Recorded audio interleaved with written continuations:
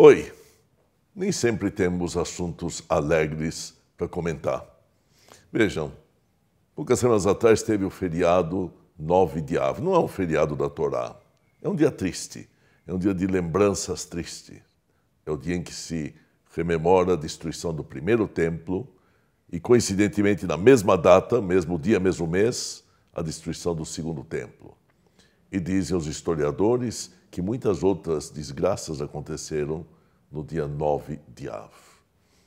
E a explicação rabínica, 9 de Av aconteceu e o templo foi destruído porque houve ódio gratuito.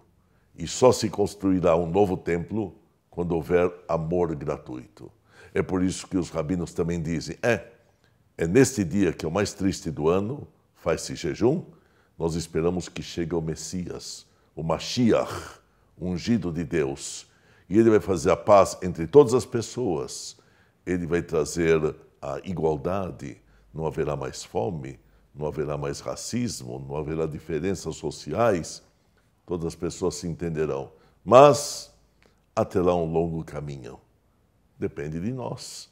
Infelizmente, isso se reflete também na nossa sociedade casamentos desfeitos, lares abandonados, brigas por dinheiro. Puxa vida, será que não conseguimos evoluir? É um pouco difícil. Ou talvez muito difícil.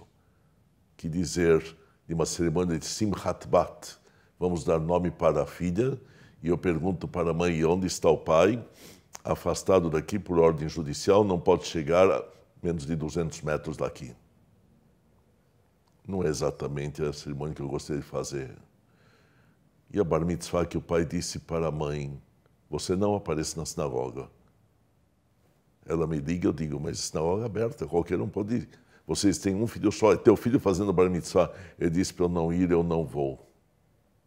Ou aquela que colocou um carro da polícia na porta da sinagoga para não deixar o pai da criança entrar e nem avisou a data.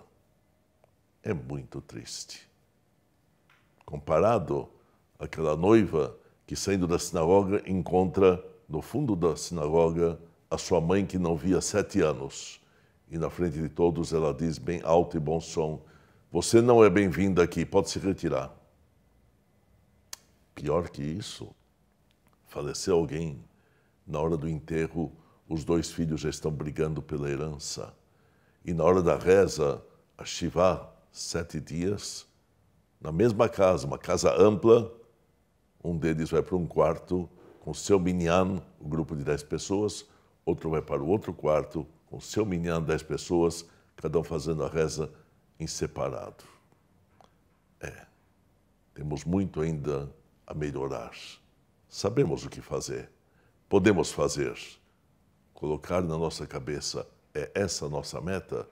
Vamos aproximar a vinda do Messias que ele venha logo, que faça paz entre as pessoas e que possamos merecer esse mundo de uma forma muito mais agradável e compartilhado de maneira honesta entre todos.